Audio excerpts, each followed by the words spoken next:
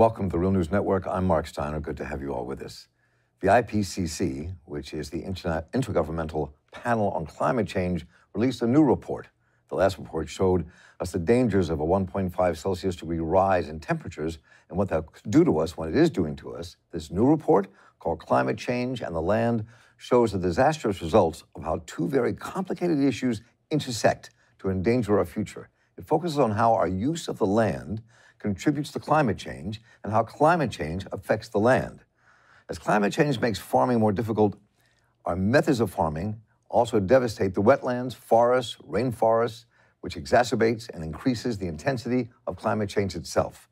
The end of the report offered some solutions, but we'll explore what all that means in this conversation with our guest, Diana Ruiz. Diana Ruiz is the senior palm oil campaigner for Greenpeace USA. She's based in DC, uh, and she's leading the work to make zero deforestation in Indonesia a reality. No easy task. She has worked to make change and hold United States corporations accountable in countries including Indonesia, India, Peru, and Ecuador. And Diana focuses on the range of issues that draw from industrial chemical systems to pesticide regulations, climate mitigation, and adaptation, which means that uh, she's a very busy woman and took time to talk to us today. And Diana Ruiz, welcome. Good to have you with us.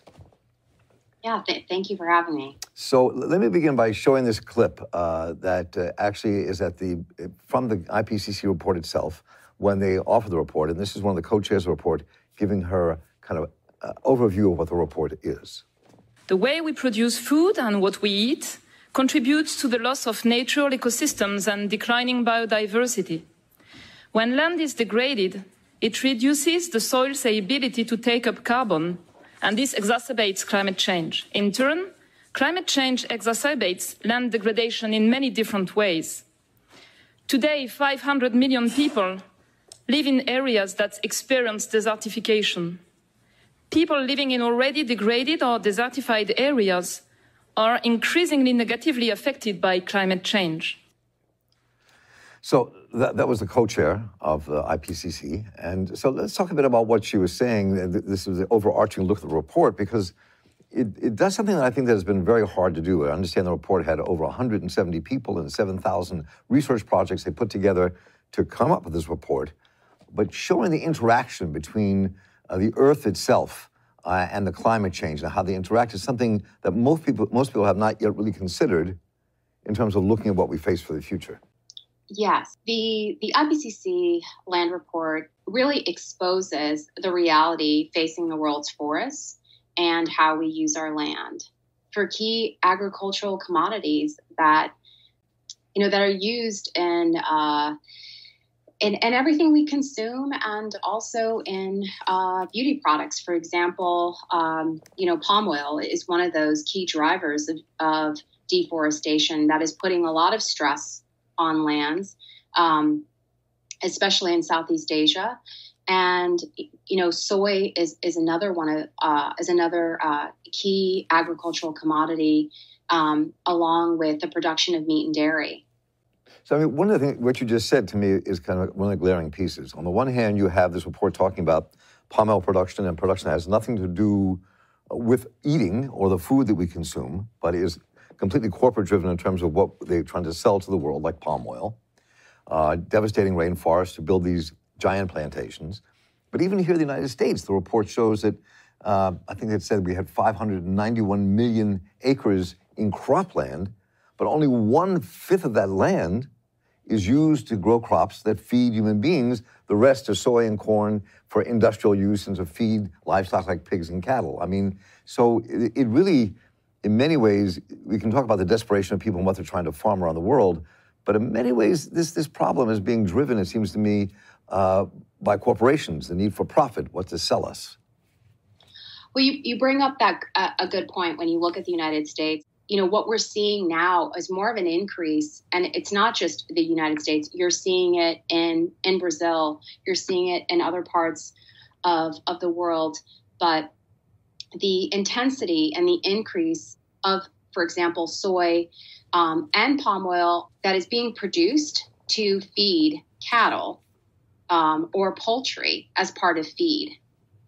And it's it's that part of that's that that sick system of the way um, you know agricultural production for these types of commodities is is aggressively converting land we're, we're at a critical point where we face a limited amount of land um, that is going that is having huge implications on the security of of the future of our of, of the production of food. I mean, so, so not only does the deforestation of our planet to, to create these plantations, um, I mean, create greater pollution because of the methane and everything else that it releases. Um, and when destroy wetlands, I was surprised to see how much more in gigatons that releases the atmosphere. Uh, that, and, and, you know, that, uh, on top of what's happening with our fossil fuels to get us from place to place, and and that I mean that, and that's something else I think people don't really kind of put their hands around yet is the extent to which how we farm and what we farm actually does contribute to the pollution that we're facing. Yeah, absolutely. Uh, agriculture is is one of the it, it is the leading driver of of deforestation. Um, together with forestry and other land use, um, you know, it it represents 23% of of human greenhouse gas emissions. So, uh, so the question is, well, let's take a look. This is an interesting clip. This has to do with soil devastation, and that came out of this report. And this is a, uh, a, a, British uh, scientist, and we'll, we'll watch what she has to say. Life is at risk ultimately, and that's because all the things that we take for granted, resources that are more at the top of people's minds, like water and air, healthy air, etc., are um, related to healthy soils unfortunately, because we've not been looking after soils, we've been taking out more than we've been putting in.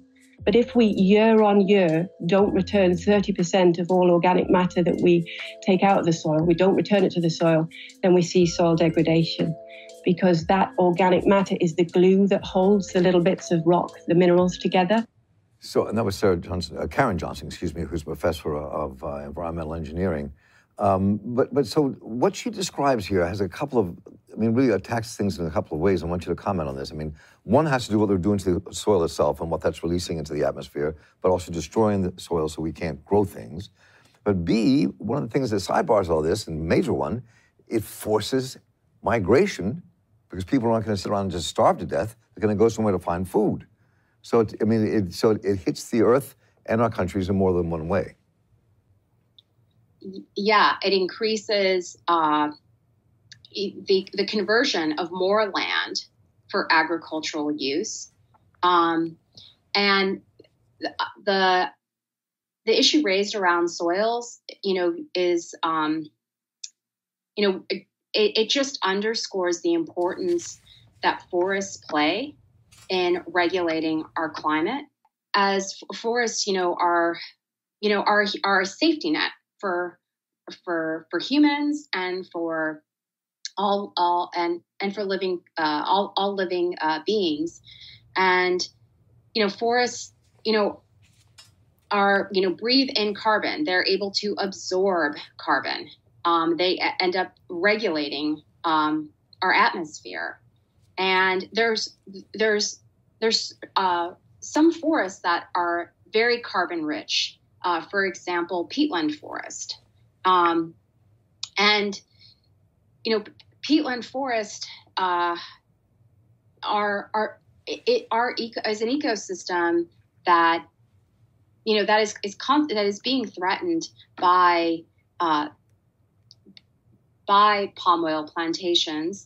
And you see a similar uh, situation in Brazil with uh, the savanna grasslands known as the cerrado that is also has rich carbon rich soils that is that is is also being uh, cleared for you know for uh, cattle grazing um, so you know th- that's part of you know, that's part of the story of of how we you know how we're uh, um, getting to like desertification uh, of these lands. And um, because essentially with with uh, forest areas that are very carbon rich like peatlands you're essentially detonating a carbon bomb when you clear when you when you when you drain those peatlands and then you clear that land for um, you know for agricultural production.